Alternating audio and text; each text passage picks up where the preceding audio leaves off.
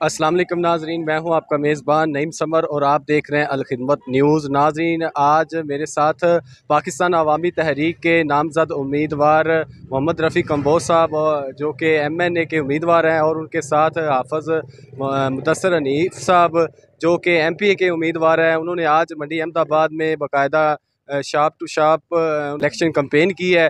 हम उनसे जानते हैं कि आज लोगों का क्या रिस्पॉन्स रहा और उनकी पार्टी का क्या मंशूर है। जी, अस्सलाम पाकिस्तान अवामी तहरीक की जंग किसी सियासी शख्सियत से नहीं है।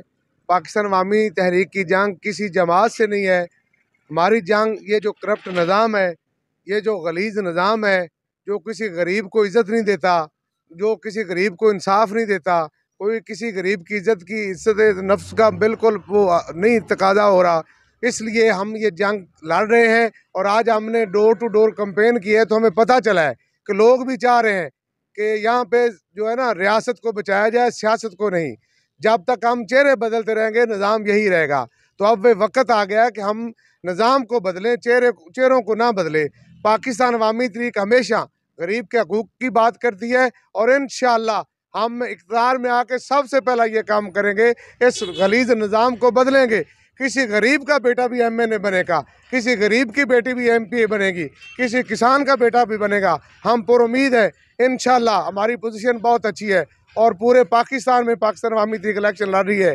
तकरीबन ढाई सौ के करीब उम्मीदवार हैं हमारे। और आज मंडी अहमदाबाद में हम दुकानों पर गए हैं तो हमें पता चला है कि लोग भी मोहब्बत करते हैं, लोग चाह रहे हैं कि इस निज़ाम को बदला जाए।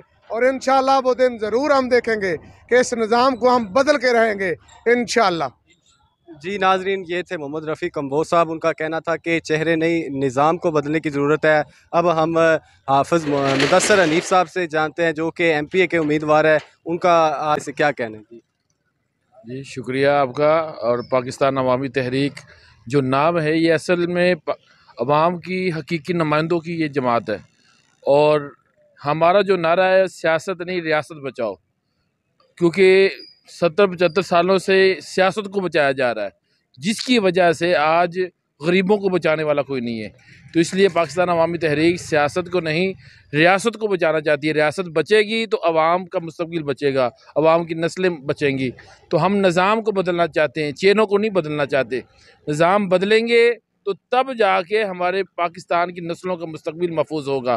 तो हम चाहते हैं कि देखिए, आने वाला हर नया दिन हमारे लिए एक नई परेशानी लेकर आ रहा है। तो क्या ये पाकिस्तान सिर्फ़ गुंडों का है?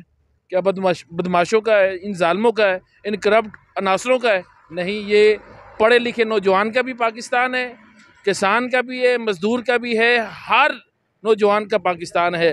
अब हर नौजवान उठेगा, हर गरीब उठेगा और वोट की ताकत से इस जालमाना करप्ट निज़ाम को जड़ से उखाड़ फेंकेगा। इन अपनी नस्लों की मुस्तबिल के लिए वोट डालें पाकिस्तान अवामी तहरीक को और मोटरसाइकिल को। क्यों? क्योंकि इस निज़ाम को बदलना है हमने। बदलेगा निज़ाम तो तब बदलेगा पाकिस्तान। पाकिस्तान अवामी तहरीक जिंदाबाद। जी नाजरीन, ये थे पाकिस्तान अवामी तहरीक के नामजद उम्मीदवारान। उनका कहना था खरे नहीं, निज़ाम को बदलने की ज़रूरत है, इसलिए हमारी पार्टी का मंशूर है कि रियासत को बचाना है, सियासत को नहीं। जी।